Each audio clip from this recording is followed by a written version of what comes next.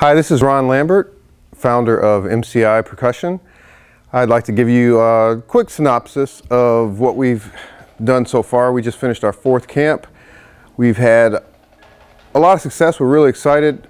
Uh, we finished three run-throughs today of the show, at least as much as that we're going to do for the premiere show. We've been able to really establish some staff synergy. The ideas are really flowing. The visual staff and, and the various influences that they bring have really made this, the process go very well. An idea comes out, we get feedback right away, the kids learn their drill sets and feel comfortable, we can immediately start to add lower body vocabulary and add some of that pizzazz that you usually have to wait till late in the season. The show has certainly evolved even from what it, the first concept was. So we're really excited. The parents have helped us. We got the floor out. We've got it shaped and glued. You can tell it's a, an infectious organism. So we're really excited about that. The equipment is going great. We're looking to keep adding to things throughout the season.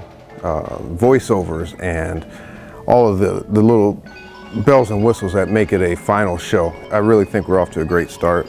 Uh, four camps under our belt and we're already doing run-throughs of the first two movements. So right on schedule to do a great job at the premiere show and then uh, look for us a month later at the Jefferson show and then a month after that we will be at our home show here on March 19th, the Lakewood Ranch indoor show, which we just got confirmation that there's 60 guards and several, maybe 20 indoor percussion groups, and we'll have uh, national judges, and, and it's going to be a packed house here at Lakewood Ranch. So until next camp, which is coming real soon, we'll see you.